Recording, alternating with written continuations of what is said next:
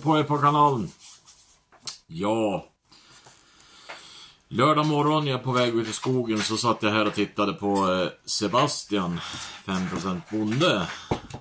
Min vän, som eh, hade lite problem med eh, röjklingan.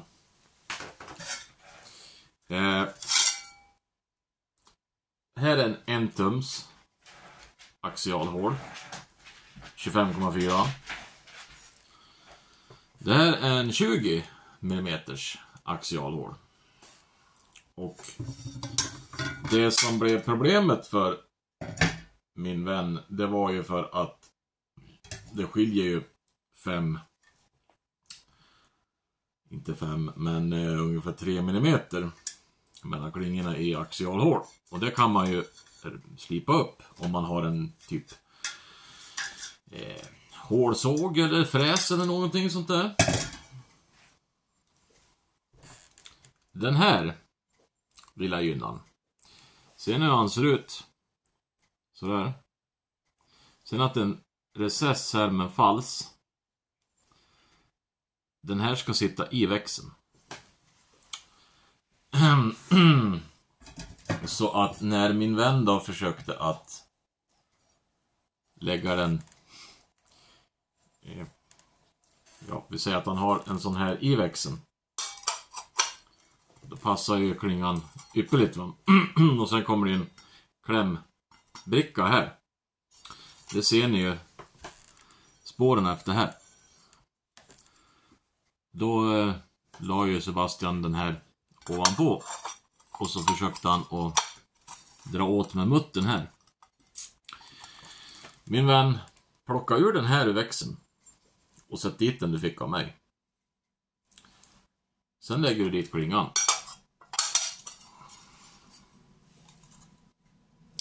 Och sen tar du klämbrickan och så tar du muttern.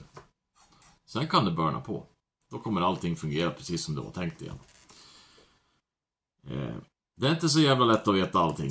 Och jag tänkte jag ska reda ut det där med frågorna med hur eh, V-klingan presterar i grovt. Så därför så ska ni få vara med idag när jag åker ut i skogen i en senare film. Och titta på hur V-klingan verkligen presterar i grovt. Och jo då, Det går mycket fint. Utan problem. Fördelen med V-klingan det är just att den har de här V-erna som går ner. Och det gör att material transporteras mycket lättare ifrån. Och det gör att den har reducerad kastrisk och vibration, vibrationerna går ner. Den varvar upp mycket lättare med att det fattas material igen. Den kommer inte böja sig eller någonting annat och jag kör med de där V-klingorna varenda dag. Grovt som klent. Och nu pratar vi alltså grovt. Eh, Sebastian var inne i ett bestånd som var ungefär som knytnäven. Det är ju runda en decimeter, säger vi. Kanske lite till. 12 i, rot ungefär. Där jag är nu, där är tallar och granar och björkar ibland på det dubbla. Och eh, ja, det är lite en annan körteknik för att det blir att man måste göra fler skär. För att du kommer ju inte igenom med klingan oavsett hur du än försöker. Men tar man en klinga så här så ser ni att dit in kan ni ju såga. För sen säger brickan ifrån. Så att har du då knytnäven så här så ser ni att ni kommer ju inte riktigt igenom i alla fall. Då kan ni ju tänka er vilket gissel en annan har. Eh, emellanåt. Den är det i alla fall. Jag ska ta och visa det här i fält så att alla förstår bättre. Eh, jag gör det här sen.